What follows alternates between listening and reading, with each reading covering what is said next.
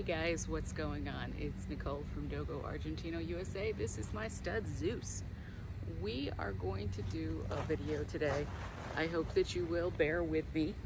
Um, I've never shot outdoors and I'm not used to unscripted videos.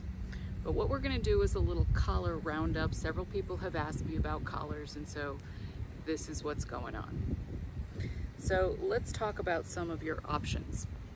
Now, collars are of two varieties in my mind. There's collars that are specifically to be used as training tools, and there's collars that are specifically meant to identify the dog, essentially tag holders. Um, I don't generally collar my dogs at all when they're at home. And I do realize that for some people that's a risk. If you have a dog that's an escape artist, that is a bad plan. My dogs are not escape artists. They want to be with me all the time. So I don't really have that, that huge concern. Oh.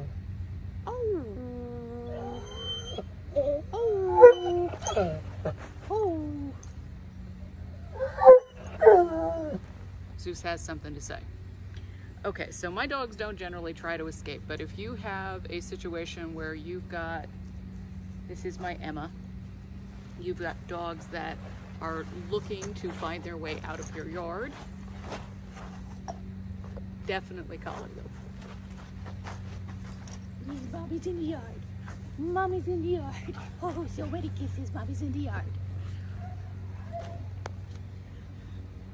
All right, so something you should know um, about collars, like I said, there's two types. There's collars that are training aids and there's collars that are tag holders. I also think that you should microchip your dogs. I microchip my puppies for two reasons. I microchip litters because I want the microchip to be tied to their BAER results, their brainstem auditory elicited response, so that you know that the dog's hearing status is the dog that you bought. So to me, that's very important. And of course, I'm always terrified that uh, something will happen and the dog will not be found because it doesn't have a microchip. So I like to microchip dogs. There are some people that don't believe in it, but I do. So all my dogs are microchipped, but collars are a great thing for tag holders. So let's go through some collars. Now this is a plastic buckle collar and it has a little slide right here. It's adjustable. This particular one is by Blueberry Pet and I'm going to have links in the description which are affiliate links from Amazon if you want to support the channel otherwise you can just look up the brand. This has a nice metal D-ring and a quick snap buckle. For me, this is a puppy collar. It's also known as a flat collar, sometimes called a buckle collar for the obvious reason that it has a buckle. Uh, this is a puppy collar, and there's two reasons it's a puppy collar. One, this is a failure point for an adult dog. Uh, these are great for puppies, but an adult dog could easily break this. Um, so this is not, to me, a good adult collar. The other thing is this is too narrow in diameter to make a good adult collar. Adults need more width so that the pressure is spread across their neck and not concentrated on their esophagus. And if you have a very thin collar, this one I believe is 5 eighths of an inch. On an adult dog, this would concentrate the pressure right at the front of the neck at the esophagus and it can cause injury. So I'm not a fan of these as adult collars. Now this collar was also one of Zeus's puppy collars and you'll notice this one is significantly thicker. This is probably not quite two inch. I would say this is probably an inch and three quarters. Again, it has that quick release buckle, which is convenient, but a huge failure point on a strong breed. This particular one is from Rough Roxy. And you have your same little buckle adjustment here, nice D-ring.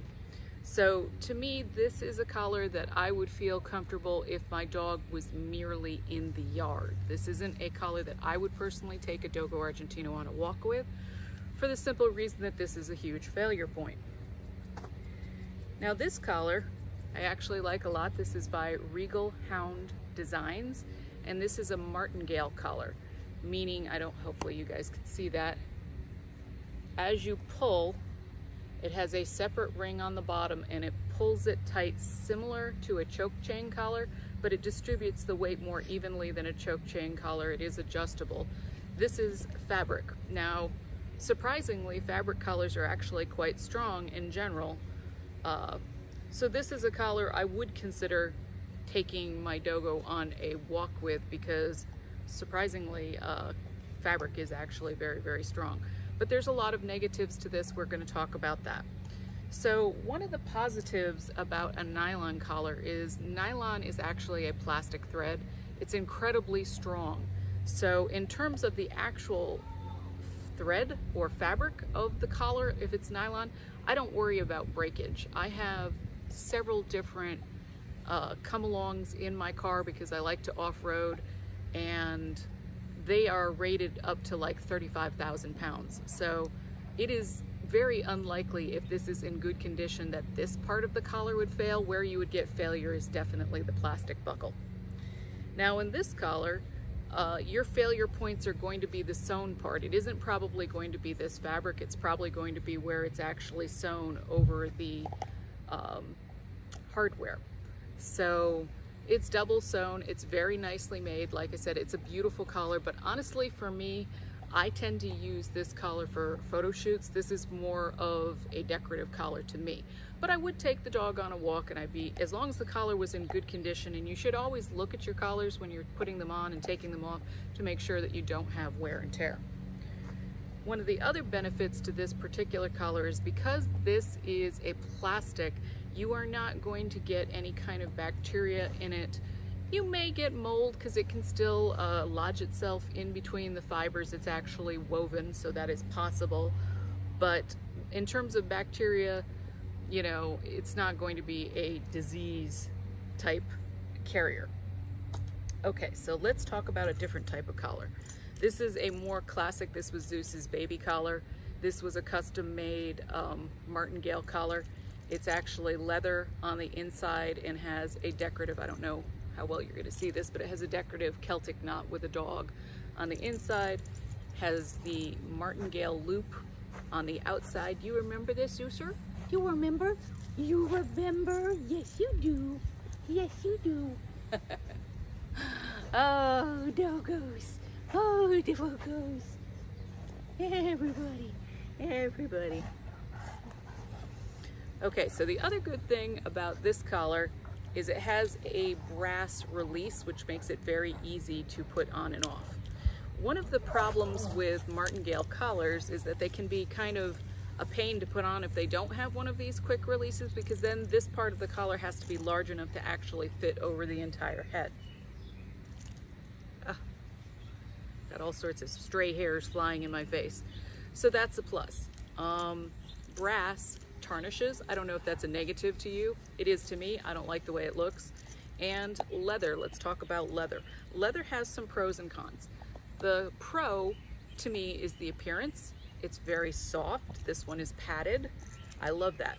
The cons, if it gets wet, it is 100% porous. Regardless of what they treat the collar with, it makes no difference um, leather is a porous material because even if they treat it with something that's meant to be waterproofing, where there's stress in the collar, which is normally in places that it flexes, it can absorb bacteria, it can absorb viruses, it can absorb fungus because leather is of course a natural product. So that's a big negative. And if your dogs swim a lot, I don't love leather collars for that reason. So this is a, a different type of leather collar Hopefully you can see on the inside this is heavily padded. And the reason that I prefer, if I was going to go leather for any length of time, of having that padding is again, it's just distributing the weight over the esophagus so that if you grab the collar either by a leash or by your hand and you pull, you are having a little bit of protection and the edges on this are what they call rolled, meaning that they've actually filed the edges into a round bullnose shape. It has a very, very nice buckle which you can see is also padded across it. I love that. Um, this one has a minor buckle and this is where you would hang your tags. I am particularly fond of that in a collar because I don't want the tags where I attach the leash because they're most likely to get bent or to be damaged and end up falling off. So I don't love that. Has a nice brass buckle and you can see somebody felt the need to chew this one. So that's no longer in rotation. But I ultimately stopped really using leather collars at all except for show. So this is a, let's get it out here. This is a custom made uh, show leash and hopefully you can see the bead detail on it. Um, this is made out of kangaroo and the kangaroo is actually wrapped over a nylon core that has several thousand pounds of uh, pull strength in it. So even though leather can snap and can break because this is braided over a nylon core, I am not terribly worried about it as a show lead. So it's actually technically a show lead, not a show leash. Got big heavy duty hardware and then this is a slip collar which you would slip over the dog's head and there you go. So one thing about slip collars, and I'm probably gonna do this backwards to the video because the video is always upside down, or excuse me, backwards to me, is when you are putting the, the lead on, you wanna make sure when it's facing you that it's creating a letter P. So to me, this is accurate to you, it would be backwards. The reason being is you want the, the leash to release and not hold tension and it has to be, when you put it on the dog, it has to be, you know, kind of making a P, which for you guys would be that way, I believe for me is this way. Okay, so again, this is kangaroo, this was custom made, and the only difference between this really and a choke chain is that this is not made out of chain and it's super thin and super narrow and when you are showing a dogo you want it right behind the jawline so that it more or less disappears because you're trying to show the dog in its totality with its neckline uninterrupted by a collar and so that's great. Now these I cannot give you the manufacturer. I have several of them that were custom made but she has stopped making leashes so I can't help you there. All right, this is another collar. This one is from Mad Cow Designs and it has glass beading in the front. It is padded, it is leather, and it goes, of course, from wide to thin through a buckle. And Zeus wore this quite a long time before I finally retired it. And what I don't like about this, this is a beautiful collar and I had lots of photos. Don't mind that I'm outdoors and my neighbors have kids outside. It was really beautiful and I loved it and it was pretty, but it was actually kind of a pain over time. And again, I abandoned it for that reason because what happened was in through the glass beading, uh, it got caked with dirt, it got caked with mud. I didn't particularly have a problem with fungus or bacteria or viruses to my knowledge, but that is always a risk. Emma, off. Come. Good girl. She's like, they're so, they're next to my yard. They're next to my yard and mommy is here and I must tell them that they are too close to the yard. Okay, so the downside of leather, obviously it is insecure in, in terms of the fact that it can break. Um, it's very hard to clean. It can get dirt, it can get mud, it, bacteria can grow in it, mold. Uh, so it's great for photo shoots. I don't like it as an everyday color personally because of course my fear is that even if you treat it with uh, oils like mink oil, eventually it can dry out and it can become brittle and it can crack and I don't like that about that particular collar. You remember this one, Zeusy? Do you remember that collars? That's your collar. That's your collar. So here we have a traditional chain collar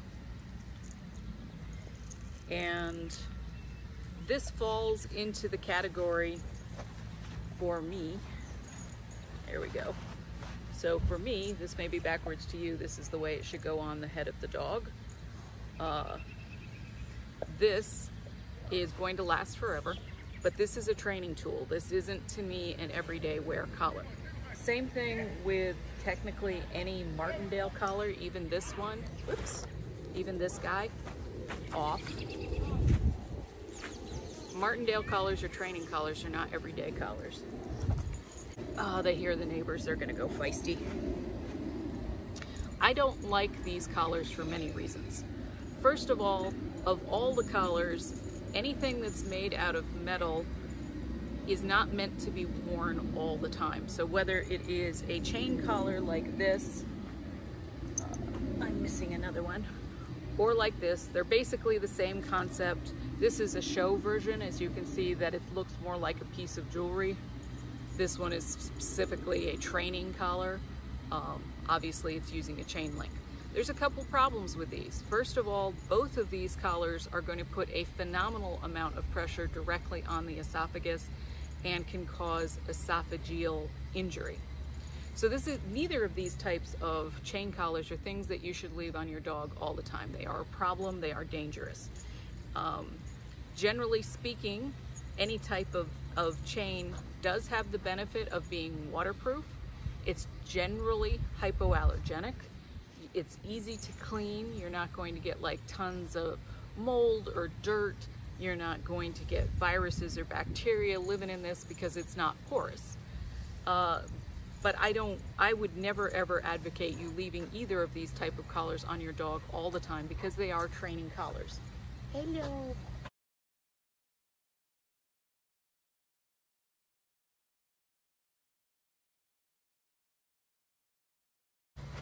Okay, so next type of training collar. Um, this is one of my favorite types of training collars prior to me moving into e-collars or electric collars. And I think this is one of the most efficient ways that you can teach a Dogo Argentino or any large breed to walk without pulling your arm out of the socket. Um, obviously these dogs are extremely strong and so this is a Sprenger collar from the famous manufacturer Herm Sprenger and it is a prong collar, sometimes called a pinch collar. And if you guys want a video on putting this on, measuring it, um, learning to teach your dog to walk with respect so it's not pulling your arm so that even a young child can do it, I would be happy to do a video on this. Uh, these collars get a bad rap based on the way they look. But remember, Dogo Argentinos get a bad rap based on how they look. And we all know that judging on appearance is a non-winning situation because appearance isn't reality. So I would love to do an in-depth um, video on this particular style of collar. So it is uh, basically a martingale collar. Again, you pull on the live link. The dead link keeps you from continuing to pull. And this is actually an incredibly humane um, training tool, in my opinion, far more humane than a typical choke collar, but they do look intimidating. There are many different styles, and I'm gonna go into that on a video if you guys wanna learn how to walk your dog without him pulling your arm off. Okay, so our final collar today is an e-collar or an electric collar. It contains two parts we have your control unit and we have your receiver. And the collar base is actually cut to fit. It is a plastic material of some sort. So there's pluses. With this particular brand, which I am very fond of, this is the Educator and this is the Boss version. This, under proper training, is one of the, one of the best investments I've ever made. Off They can hear the dogs in the neighboring yards. I don't know if you can hear that. Okay, so let's talk just briefly about e-collars. I may or may not do another video on those. I think that e-collars are something, and actually all training collars, so e-collars, prong collars, uh, chain collars, choke chain collars, those are all training aids. They're not collars that should be on all the time. Um, you should have periods where you're taking them off for a couple of reasons. If you leave a training collar on all the time, you are actually diminishing the value of that collar as a training aid. Uh, it is definitely something that you should be using with a professional's help. This is not stuff you should really experiment at home because there is the possibility of causing a negative training loop. If you don't know what you're doing and you don't have a structured program behind you, and you're doing the wrong things, you can actually exacerbate bad behavior. So I'm up in the air as to whether or not I should go too far with any of those tools simply because I do think you should be working with a professional behaviorist or a professional trainer before you start using them at home. YouTube is great. God bless YouTube, but you can't learn everything you need to know about training through YouTube videos because so much of training is about actually observing the way you interact with your Dogo Argentino and how that Dogo Argentino is interacting. And written descriptions, I get a lot of questions that are very specific training wise that I really can't help with because I, I would need to be physically present to see what the dog is doing and see what you're doing. A description of it is not any good in terms of being very specific. It would be like me saying to a doctor who can't see me, I have a red rash. What can you do to help me? That could be a million things. It could be allergies. It could be injury. There's just, that's not enough information to really make useful recommendations. You, sir. So because I need to be there, you know, I, I don't want anybody to watch a video and then go do something and create a negative situation because they don't have enough information to move forward in a positive way. So all training tools shouldn't be on 24 7. They should be used in a structured uh, way so that you're actually training because alone, this is a tool, it doesn't teach anything. Alone, this is a tool, it teaches nothing.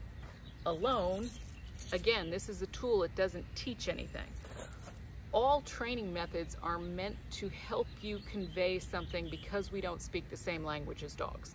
And so we're trying to use operant behavior conditioning in order to get them to understand what we're after in terms of positive behavior and negative behavior. Now, I will put this out there. It should be obvious by my collection of, of collars, but if it's not, I don't believe in positive only training methods.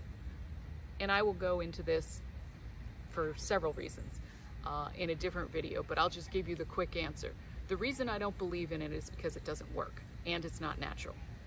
The reason it doesn't work is because if you're only trying to reward a positive behavior, if that behavior doesn't show up, you can never give the reward. And so the negative behavior is moving on and moving on and moving on and becoming more and more deeply ingrained and deeply seating, and you're not able to nip it in the bud because the positive behavior didn't show up. So, yes, dogs can learn from positive only training, but it's actually incredibly inefficient. Uh, it's unnatural. In the wild, dogs do have both positive and negative reinforcement from their pack. If a puppy gets out of line, a mama will correct that puppy. She'll give it a quick nip. That's a negative reinforcer if you only talk to your dog in terms of positives, you're cutting off half the conversation. If you can only say positive things, you can't say any negative thing ever, you're really only having half a conversation. And it's, to me, very inefficient and will take a lot longer to train, which is why I do believe in uh, training that has both positive reward and adverse or negative consequences to unwanted behavior. Now, in terms of behavior, it's very, one of the most important things you can do with any kind of collar is to make sure that you're being fair with your corrections and that the timing is very, very quick. If your timing is not quick, you are not necessarily reinforcing the behavior that you either want to extinguish or that you want to encourage. So timing is very, very important. But, okay, so this is my collar roundup. I'm gonna show you the piece de resistance, my favorite color, boom, and it's this bad boy. And there will be a link in the description, but there's also a link on my community page. This is an incredible collar, and I love it for so many reasons. First of all, hopefully if I put my hand behind it, you can see it. This is almost, uh, it's probably just at a quarter inch thick of nylon. So it's very, very, very heavy duty. It is, let's see, one, two, three, five, six. It has seven rows of stitching long ways and numerous reinforcement points on the end. It has a massive, massive attachment point, big heavy buckle, a double latch. Of course, this is my actual Zeus collar, so he's got his tags on it and stuff. I like this collar for several reasons. You are not going to break this collar. You're not. You're not going to break it.